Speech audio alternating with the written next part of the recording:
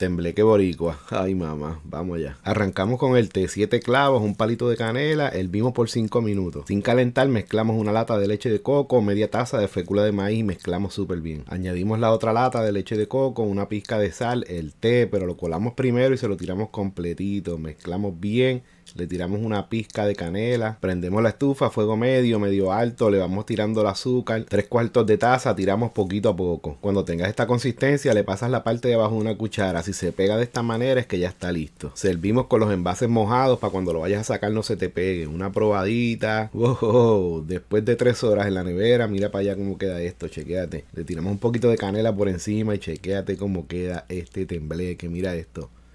Ay, mamá, mira para allá. Qué cosa brutal, chequéalo. Ay, Dios mío, esto está pasado. Mira para allá. Ay, mamá. Sígueme para más recetas.